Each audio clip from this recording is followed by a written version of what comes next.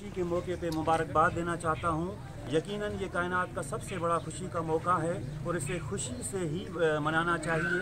हमारे पास इस दुनिया में जो भी खुशियाँ हैं, वो हबीब करीम वसलाम के सदक़े में हैं और ये उम्मत पे फ़र्ज़ होता है कि हम उस दिन को, उस शुक्राने को अदा करें। शुक्राने के तौर पर हम खुशियाँ मनाएँ और हम जमायत ख़ादमफ़करा इस खुशी को भरपूर तरीके से हर साल से मनाती आती जा रही है और हम इस साल भी इन ताला खुशी से मनाएँगे।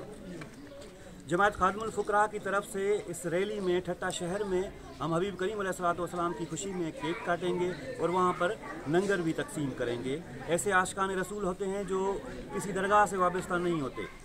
वो निकलते हैं आका करीम सलाम की मोहब्बत में। हम चाहते हैं कि हम उनको लंगर खिलाएँ और खुशी के मौके को भरपूर तरीके से मनाएँ। बहुत शुक्रिया।